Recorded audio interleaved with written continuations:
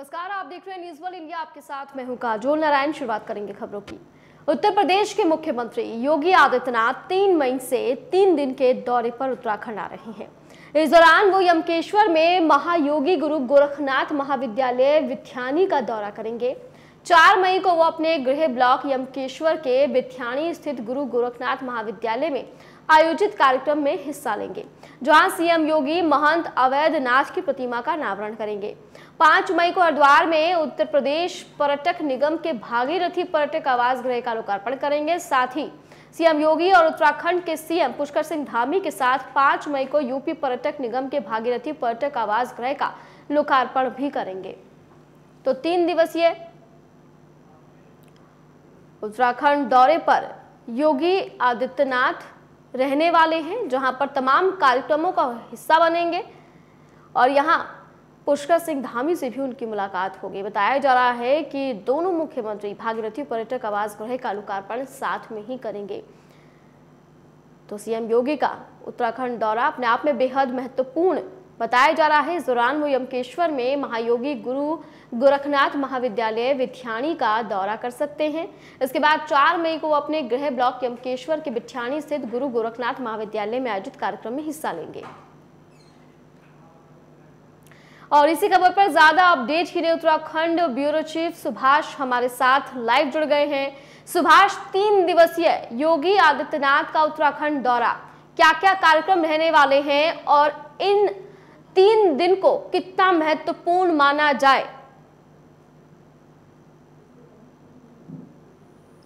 जी, बिल्कुल। उत्तराखंड में सीएम उत्तर प्रदेश के योगी आदित्यनाथ तीन दिवसीय दौरे पर और ये कहा जा सकता है कि काफ़ी महत्वपूर्ण दौरा भी इसको माना जा रहा है, क्योंकि सबसे महत्वपूर्ण चीज़ ये है कि परिसंपत्तियों के बंटवारे को लेकर जो पिछले लंबे समय से जब से उत्तर प्रदेश से उत्तराखंड अलग हुआ है तब से लेकर अभी तक परिसंपत्तियों का बंटवारा नहीं हुआ और यही हम्म। वजह है कि तमाम दोनों ही राज्य चाहते थे कि उनके जो परिसंपत्तियाँ उनका बंटवारा भी हो लेकिन उससे महत्वपूर्ण चीज़ यह है कि योगी आदित्यनाथ कल उत्तराखंड पहुँचेंगे और तीन दिवसीय उनका दौरा रहेगा सबसे पहले महायोगी गोरखनाथ के जो महाविद्यालय है, उसका वो निरीक्षण करेंगे, उस स्थान पर पहुँचेंगे। और इसके साथ ही ये कहा जा सकता है कि जो महत्वपूर्ण जो दौरा रहने वाला है, वो हरिद्वार जनपद में रहने वाला है, क्योंकि हरिद्वार जनपद में जो उत्तर प्रदेश का पर्यटन स्थल का जो गेस्ट हाउस है उसका लोकार्पण करेंगे जिसमें हम्म। उत्तर उत्तराखंड के मुख्यमंत्री पुष्कर सिंह धामी भी मौजूद रहेंगे और कुल मिलाकर ये कहा जा सकता है कि काफ़ी महत्वपूर्ण दौरे के स्तर पर इसको देखा जा सकता है क्योंकि परिसंपत्ति का बंटवारा पिछले लंबे समय से उत्तराखंड और उत्तर प्रदेश का नहीं हुआ हालाँकि इससे पहले सुभाष लगातार आप परिसंपत्ति का ज़िक्र कर रहे हैं। कुछ महीनों पहले एक बैठक भी हुई थी। बैठक के बाद ये उम्मीद जताई जा रही थी कि जल्द ही इस पर कोई फैसला आ जाएगा। क्या ये जो तीन दिवसीय दौरा योगी आदित्यनाथ का उत्तराखंड में होने वाला है। इसमें ये सारे जो मामले हैं वो सुलझ जाएँगे। ऐसी क्या उम्मीद हो सकती है? बिल्कुल, ये कहा जा सकता है कि नवंबर में इससे पहले ये बैठक हुई थी और ये उम्मीद की जा रही थी कि तमाम जो परिसंपत्ति या परिसीमन के तमाम जो भी मुद्दे थे, चाहे वो नहरों के हों, रोडवेज़ के हों, या फिर अन्य जो भी थे उन हम्म। सभी को जल्द से जल्द पूरा कर लिया जाएगा लेकिन क्योंकि काफ़ी लंबे अरसे के अरसे से ये परिसंपत्ति का विवाद चल रहा था और उम्मीद ये की जा रही थी कि जो डबल इंजन की सरकार है केंद्र और राज्यों की वो मिलकर से सुलझा लेगी लेकिन अब ट्रिपल इंजन की सरकार है और ऐसा कहना कांग्रेस का भी है कि ट्रिपल इंजन के बावजूद भी जो परिसंपत्ति के जो मामले थे, जो विवाद थे, वो नहीं सुलझे। और पाँच साल राज्य सरकारों ने ज़रूर ये कहा कि तमाम सभी मुद्दों को सुलझा लिया जाएगा और जल्द से जल्द तमाम चाहे वो नहरों के मुद्दे हों या फिर जो भी महत्वपूर्ण मुद्दे हों, उन मुद्दों को निपटाकर जल्द से जल्द परिसंपत्ति जो भी मामले हैं, चाहे वो नहर हैं, होटल्स हैं, या फिर रोडवेज़ के तमाम जो बसेस हैं, उन सभी की एक तरीके से उन लोगों पर काम कर दिया जाएगा और कोशिश की जाएगी कि जल्द से जल्द जो परिसंपत्ति के मामले हैं उनको निपटा लिया जाए। हालाँकि अब उम्मीद ये की जा रही है कि हरिद्वार में जो महत्वपूर्ण बैठक होनी है जिसमें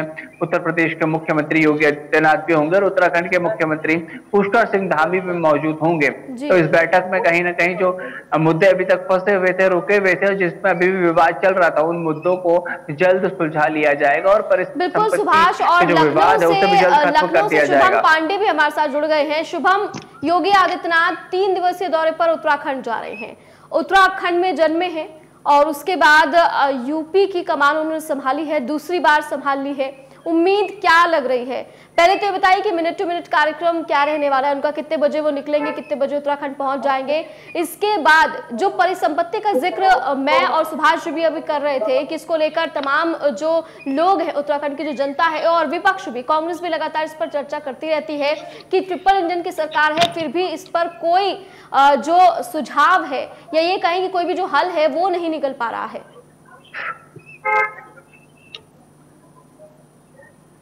शुभम, मेरी आवाज़ आ रही है आपको?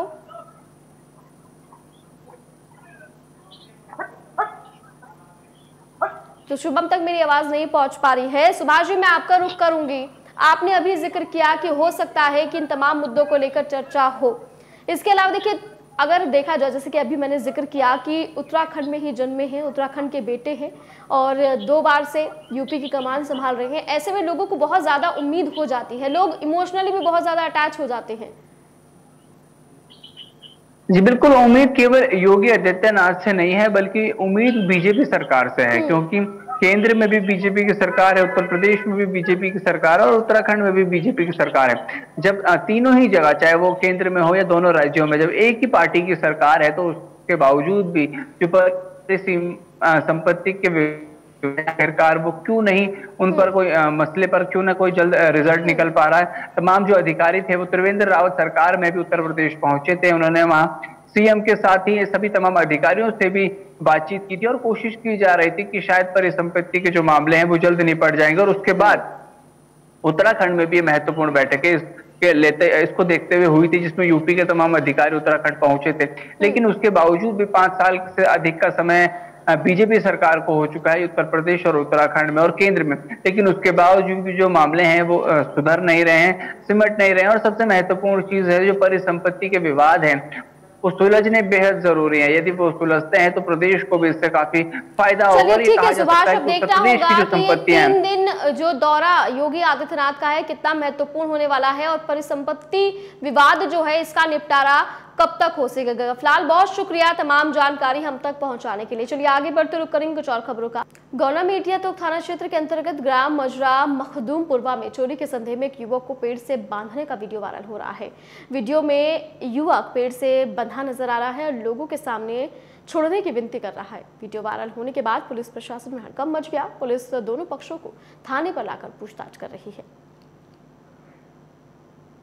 मीडिया पर एक वीडियो वायरल हुआ है, जिसमें एक व्यक्ति को पेड़ से बांधा गया है। जब इस प्रकरण की जाँच की गई तो इसका नाम ननके सरपंच निवासी ग्राम पंडितपुरवा थाना इटियाथो का निवासी है और इसके गाँव के बगल के ही कुछ लोगों द्वारा इसे चोर समझकर पेड़ से बांधा गया और इसके साथ मारपीट भी की गई है। इस जानकारी पर थाना इटियाथोक में सुसंगत धाराओं में अभियोग पंजीकृत करते हुए पाँच लोगों की गिरफ्तारी की गई है। इस प्रकरण में अन्य विधिक कार्रवाई प्रचलित है। लक्सर में स्वच्छता ठेके का नवीनीकरण न होने को लेकर पालिका के अस्थायी सफ़ाई कर्मियों ने मजदूर दिवस पर पालिका परिसर में इकट्ठा होकर नगर पालिका परिषद प्रशासन के खिलाफ धरने पर बैठ गए। वहीं मजदूरों ने बताया कि लक्सर नगर पालिका परिषद के वार्डो में आउटसोर्सिंग ठेके पर रखे गए मजदूरों से सफ़ाई का कार्य किया जाता है। सफ़ाई कर्मियों ने कहा कि ठेके का नवीनीकरण न होने की वजह से उनके द्वारा धरना दिया जा रहा है। मजदूर दिवस के दिन हमारे सफ़ाई कर्मचारी नगर पालिका की कितनी मजबूरी मतलब विषय में देखिए, हमें हड़ताल पर जाना पड़ रहा है। क्योंकि हमारा जो आउटसोर्सिंग का माध्यम था, वो हम ठेकेदारी प्रथा पर चले आ रहे हैं हमने चेयरमैन साहब से वो साहब से कई बार मांग पत्र दिया है लेकिन हमारे उस पर कोई भी कार्रवाई अभी तक नहीं की गई है। आज मजदूर एकता दिवस है बड़ा ही दुख का विषय है कि हम सभी सफ़ाई कर्मचारियों को भोग हड़ताल पर हमारा अनिश्चितकालीन हड़ताल पर जाना पड़ रहा है। बड़ी अफसोस की बात है कि आज मजदूर दिवस के दिन हमारे कर्मचारियों को हड़ताल करनी पड़ी। उनको हमने लिखित में प्रार्थना पत्र नौ के नौ सभासदों ने दे दिया है और अभी इनकी माइक के माध्यम से इनकी बात करा दी जाएगी।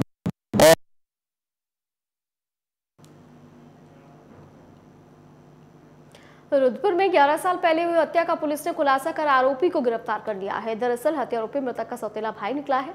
पुलिस ने आरोपी के खिलाफ रिपोर्ट दर्ज कर उसे न्यायालय में पेश कर जेल भेज दिया। इस प्रकरण के खुलासे पर एसएसपी ने पंद्रह हज़ार और डीआईजी ने बीस हज़ार पुलिस टीम को इनाम देने की घोषणा की है।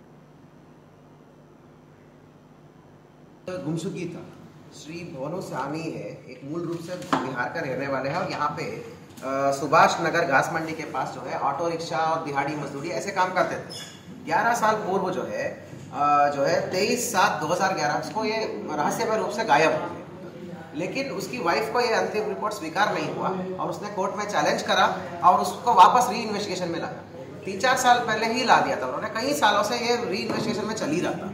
आप सभी को पता है कि माननीय डीजीपी महोदय के नेतृत्व में और पीएचक्यू के द्वारा दो बड़े अभियान चलाए जा रहे हैं। पहला अभियान है तीन साल से अधिक सभी विवेचनाओं का सफल पूर्वक रूप से निस्तारण करना।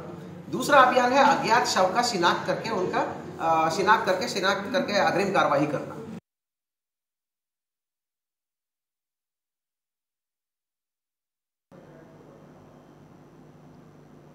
सोनभद्र पुलिस ने अवैध शराब की फैक्ट्री का भंडाफोड़ किया। पुलिस ने अनपरा थाना क्षेत्र के अंतर्गत अनपरा गाँव में अवैध तरीके से संचालित हो रही शराब बनाने की फैक्ट्री पर छापेमारी करके आठ लोगों को गिरफ़्तार कर लिया है, जहाँ उनके पास से भारी मात्रा में अवैध शराब बनाने का उपकरण बरामद किया गया। खास बात यह है कि जो देसी शराब की दुकान है लाइसेंसी उसके माध्यम से भी इस अवैध शराब की बिक्री की जा रही थी और इसमें जो अनिल जायसवाल है तो उसके पिता के नाम पे ककरी में ये लाइसेंसी दुकान है, वो लाइसेंस धारक है और उसके चाचा जो इसमें गिरफ़्तार हुए हैं, रामनारायण जायसवाल, उनकी भी गिरफ्तारी हुई है, वो भी वही उसको संचालित करते हैं। उनके दुकान से भी ये अवैध शराब बरामद हुई। इसमें आकाश कुमार और नितेश, ये लोग पहले भी जेल जा चुके हैं, आबकारी से संबंधित प्रकरणों में। और इसमें जो नितेश कुमार जायसवाल गोलू है पर गैंगस्टर एक्ट भी लगा हुआ है, पहले से। चमोली के नारायण बगड़ प्रखंड का अति दुर्गम क्षेत्र झिझौड़ी बुडेरा में जनतंत्र कॉलेज के लिए जन सहयोग से निर्मित भव्य प्रदेश द्वार के लोकार्पण के अवसर पर छात्र छात्राओं ने सांस्कृतिक कार्यक्रम किए। इस मौके पर वहाँ प्रवासी गण भी उपस्थित रहे, जिन्होंने विदेश में रहते हुए इस विद्यालय के लिए हर संभव सहयोग किया।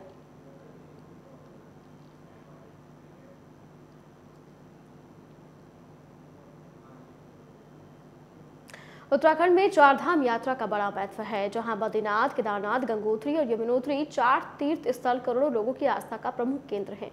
हर साल अप्रैल, मई से अक्टूबर तक चारधाम यात्रा के दौरान गंगा मैया के दर्शन करने के लिए लाखों श्रद्धालु यहाँ आते हैं। माँ गंगा की डोरी छह माह शीतकाल प्रवास के बाद मुखीमठ से गंगोत्री धाम के लिए रवाना हो गई।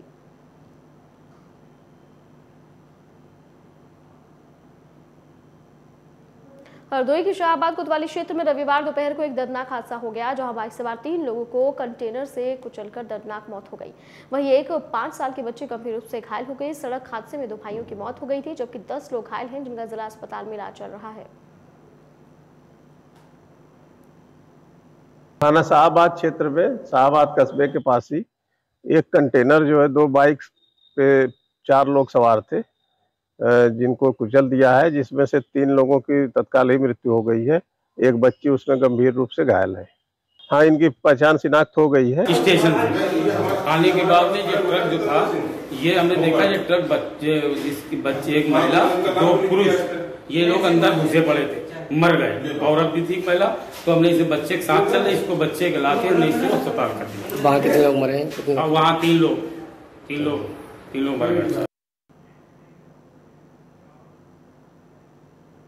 संत कबीर नगर की नगर पालिका परिषद खलीलाबाद में लोग जाम की समस्या से जूझ रहे हैं, जहाँ सड़कों पर पटरी व्यवसायी से लेकर दुकानदारों का अतिक्रमण है। सड़कों पर एक तरफ़ व्यवसायियों का अतिक्रमण तो दूसरी ओर पुलिस के चालान का डर, जिससे खलीलाबाद नगर में जो भी आता है, वो एक तरफ़ जाम से जूझता है और दूसरी ओर रोड पर गाड़ी खड़ी करने पर पुलिस के चालान का खतरा बना रहता है। शहर में पटरी पर दुकानदारों का कब्जा है, जिससे शहर में आने वालों को मजबूरन सड़क पर गाड़ी पार्क करनी पड़ती है। ग्राहक सामान खरीद कर घर पहुँचता है तो उसके मोबाइल पर गाड़ी के चलान का मैसेज बोनस में मिल जाता है। देखिए हमारे संवाददाता हेमंत सिंह की खास रिपोर्ट। इस समय हम मौजूद हैं नगर पालिका खलीलाबाद में, और आप देख सकते हैं कि क्या मंजर है। यहाँ फुटपाथ जो है, फुट, फुटपाथ पे व्यवसायियों का कब्जा है, और पार्किंग की बड़ी समस्या है। लोगों को दो चार होना पड़ता है। दूसरी तरफ़ संत कबीर नगर की जो पुलिस है, वो मोबाइल लेके चालान काटने में लगी रहती है। एक तरफ़ व्यापारी अपने अपने सौदे में फ़ायदा ढूंढ रहे हैं तो वहीं उत्तर प्रदेश की पुलिस अपना राजस्व बढ़ाने में लगी है। अब समस्या है आम लोगों के लिए कि वो कहाँ पार्क करें और कैसे जो है चालान से निजात पाएँगे। दिखाना चाहेंगे ये नज़ारा है। यहाँ किस तरह से फुटपाथ पे जो है दुकानें लगी हुई हैं और जो है फुटपाथ पे अगर दुकानें लगी रहेंगी ठेलों का कब्जा होगा तो ज़ाहिर सी बात है, आम नागरिक गाड़ी अपनी कहाँ पार्क करेगा और आपको बताते चले कि खलीलाबाद शहर में कहीं भी पार्किंग की व्यवस्था नहीं है और सड़कें जो है, फुटपाथ व्यवसायियों के चलते जो है सकरी होती जा रही हैं। दूसरी तरफ़ देखेंगे, ये जाम से दो चार होना पड़ता है लोगों को और पुलिस है। पुलिस अपने काम में लगी रहती है, राजस्व बढ़ाने के काम में पुलिस लगातार जो है लगी रहती है। इसी मुद्दे पर बात करने के लिए हमारे साथ जो है, यहाँ के लोग हैं, उन्हीं से जानते हैं कि आखिर क्या मानते हैं ये लोग? आप क्या मानते हैं प्रदीप जी, कि इस तरह से फुटपाथ पे अगर कब्जा है आम नागरिक अपनी गाड़ी कहाँ पार्क करेगा? दूसरी तरफ़ जो है पुलिस मोबाइल लेके चालान काटने में लगी रहती है। तो किस तरह का ये मंजर है? देखिए नगर पालिका है और बड़ी नगर पालिका है। काफ़ी घनी आबादी का ये हमारा ये टाउन है। यहाँ किसी भी प्रकार की कोई प्लानिंग नहीं है। किसी भी चीज़ को शहर में जैसे कहाँ पे आपके यहाँ पे स्टैंड हम बना दें कहाँ हम गाड़ी खड़ा करने की व्यवस्था करा दें कहाँ हम फल मंडी बना दें कहाँ हम सब्ज़ी मंडी बना दें सारी व्यवस्थाएँ लेकिन इसका कोई जो प्रशासनिक कार्रवाई है वो कहीं ना कहीं ज़ीरो है। और जिसकी वजह से आम आए दिन जनता को मुश्किलों का सामना करना पड़ता है बड़ी दुर्घटनाएँ होती हैं लोग चोटिल होते हैं और परेशान होते हैं। और प्रशासन इस चीज़ का भी दुरुपयोग करती है कि यहाँ पे जो छोटे छोटे हमारे फुटपाथ पे तमाम लोग ऐसे अव्यवस्थाओं का शिकार हैं उनका शोषण भी होता है उनका चलान भी होता है उनके साथ जाति भी की जाती है। तो दोनों तरह से अगर किसी चीज़ का कोई सिस्टम नहीं रहेगा तो व्यवस्थाएँ चल नहीं पाती हैं। आज सिस्टम का न होना नगर पालिका के इस, का, इस, इस यहाँ पे ये सारी दुर्व्यवस्थाओं का मात्र कारण है। कि किसी सिस्टम का ना होना। सरकार को और यहाँ पे जो प्रशासन है, उसको किसी न किसी तरीके से सिस्टम अडॉप्ट करना चाहिए, जिससे आए दिन जनता को और छोटे बच्चों को और पढ़ने वाले हमारे विद्यार्थियों को जो स्कूल जाते हैं, जाम का शिकार होते हैं, उन्हें और तमाम हमारी महिलाएँ हैं, उनको दिक्कत न हो और दूसरी चीज़ और आपका ध्यान आकृष्ट कराना चाहते हैं। छुट्टे पशु भी यहाँ घूमते हैं। बड़े बड़े साढ़ हैं, आए दिन महिलाओं को, वृद्धजनों को उठा के पटक देते हैं और चोटिल होते हैं। कई लोगों की तो ऐसी स्थिति हुई हुई है कि उनकी हड्डी भी टूट गई है। अतिक्रमण के खिलाफ बाबा का बुलडोजर गरज रहा है पूरे यूपी में तो आखिर खलीलाबाद में क्यों नहीं?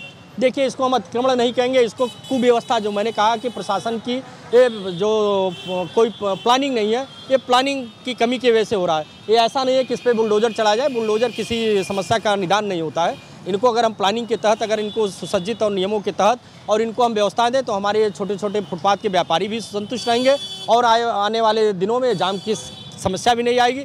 जनता को भी इससे किसी प्रकार की आ, कोई दिक्कत नहीं होगी। अगर कुछ भी है तो अव्यवस्था है और ये यहाँ के स्थानीय प्रशासन की अव्यवस्था है। तो आम लोगों का मानना है कि ये व्यवस्था है और व्यवस्था को प्रशासन को ध्यान रखना चाहिए और सबको जो समस्याएँ हैं उसको व्यवस्थित करके लोगों को आम लोगों को निजात मिलनी चाहिए। कैमरा पर्सन मोहम्मद हुसैन के साथ Hemant Singh news world India, Sant Kabir. और इसी के साथ फ़िलहाल खबरों में इतना ही। आप बनी रहिए न्यूज़ वर्ल्ड इंडिया के साथ।